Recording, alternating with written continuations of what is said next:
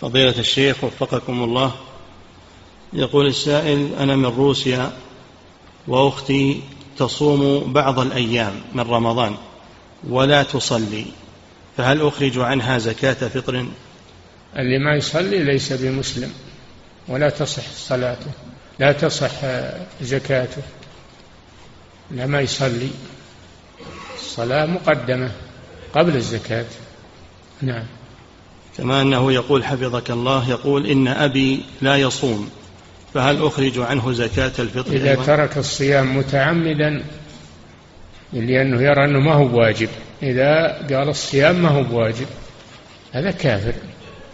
أما إذا تركه تكاسلا فهذا ما يكفر لكن يلزم بالصيام. يعني يلزمه ولي الأمر وأنت تأكد عليه تعظه وتنصحه.